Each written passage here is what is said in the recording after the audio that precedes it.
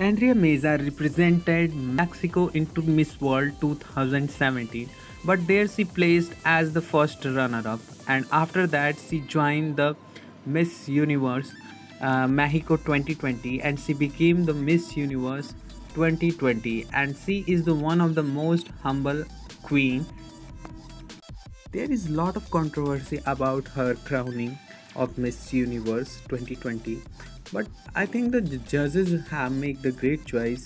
Behind the scenes, we don't know what happened, and see maybe she has done better in interviews.